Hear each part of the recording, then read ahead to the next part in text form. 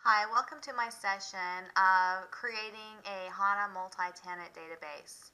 Today I'm going to show you how to install an SAP multi-tenant SAP HANA database and our SID name will be MT1 for multi-tenant 1. Our number will be 80 and we're going to be installing that on server HDB SOBW02. This is built on a HANA server that is certified by Bluemix and ordered through the Bluemix portal. So I went ahead and ordered my server right off of the IBM um, portal and I have that up and running in about an hour. I ordered the SAP HANA certified 1 terabyte and it has 60 cores and that's all ready to go for us. That is running on Red Hat. So I am now logged on to my Bluemix uh, certified HANA server and it's all ready to install SAP HANA and I'm logged in as root. SAP HANA is very, very simple to install. So on my certified Bluemix HANA server, I'm going to be running the HANA Database Lifecycle Management GUI to install. I'm using the option for Linux x86-64 because this is on Red Hat.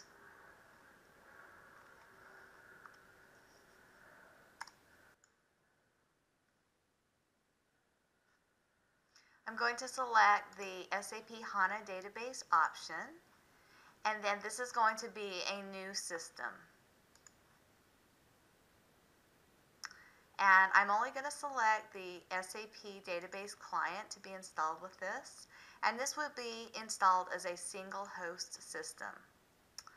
My host name will stay unchanged. Uh, my HANA shared is unchanged. And my system ID is going to be MT1. And my instance number is going to be 80. And I do have to do a drop down for that. So I'll scroll all the way down until I find 80. And on the database mode, we're going to go ahead and change that to be multi-containers. And for the system usage, this is going to be a test server. And we're not going to restrict the memory allocation. We'll just let it um, allocate all the memory in the box. And we'll go ahead and leave the data volumes on the standard defaults for HANA, which is the HANA data HANA log. And the source host name will remain R02. And for our password, I'll go ahead and I'll enter that.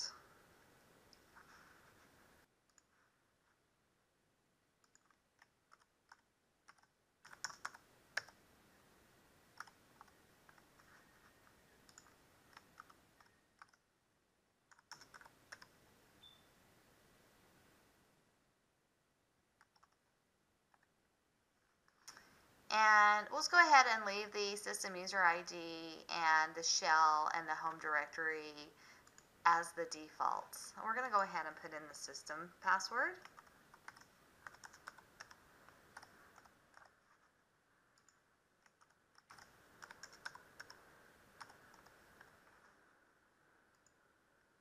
And then it's ready to go. So you really have minimum parameters to install on HANA. As I mentioned, it's very simple. Um, some of the other SAP products, you have to put many, many more parameters.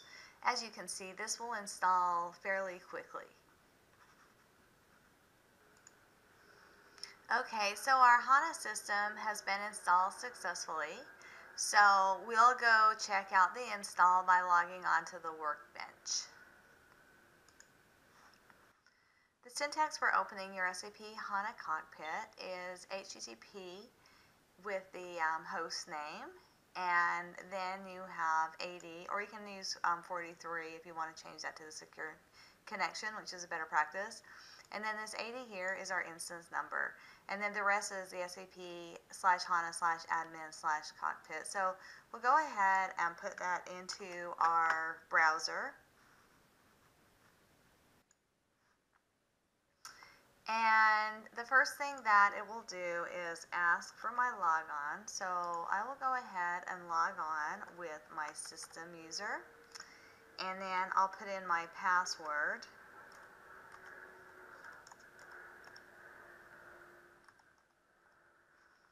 And on the first time that you log on, it will ask you um, if you want to be assigned the necessary role to open the HANA cockpit, and I'll just say okay, and we'll, we'll just continue with that. So once this opens up, we can see that we now have an option to manage our databases. Notice the name of our system is systemdb at MT1, which is the um, SID that we put in there. And it says that we have one host and one database. If we click on Manage Databases, it will take us into the database MT1, and the database name is SystemMD.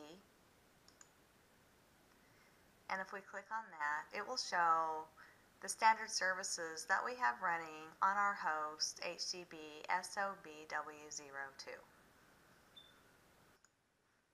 So I'm going to go ahead and I'm going to open our um, HANA Studio. And we'll go ahead and add that entry.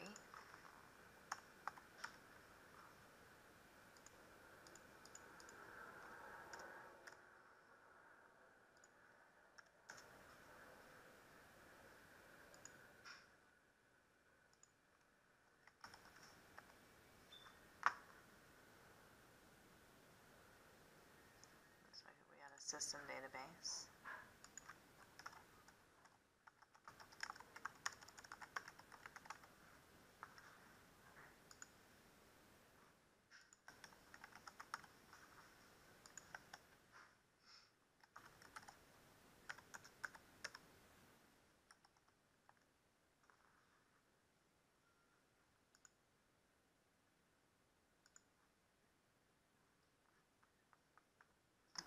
So that shows up.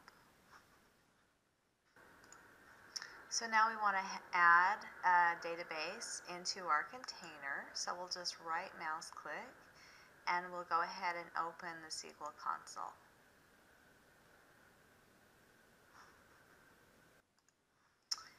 And we are going to create a database. And we're going to call this one SNQ for SAP NetWeaver quality. And we're going to go ahead and put in the system user password, which I'll block out. So our database was um, created and I'm going to go ahead and create two more databases because I'm going to be installing a Fiori on this system as well. So I'm going to have that one be FIQ and then I'll put my password in there and execute. Okay, I created FIQ successfully in a less than 40 seconds. I'm going to create one more database and it's going to be for my S4HANA and I'm going to name that one S4Q. So I have all my databases set up now to create my entire landscape. Okay, and that last database got created in about 40 seconds. And now I can easily add these into my HANA Studio screen. Um, all I have to do is, I've already added the SNQ, at MTI. So we're going to go ahead and add the other two that we created. So it's always going to be instance 80 and it's just going to be the tenant database. And we'll add the one for Fiori, which is FIQ. And this is Fiori database.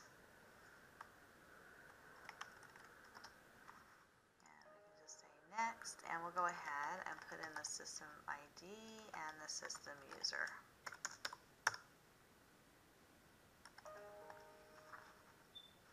And we'll go ahead and store the password. And go ahead and finish. And we can add one more, which was our um, one for our um, S4 HANA. So it's going to be on host 2, instance 80. It's a tenant database, and that was our S4Q. And this is our HANA database for S4 HANA. It's quality. And then we'll go ahead and put in our system user and our password.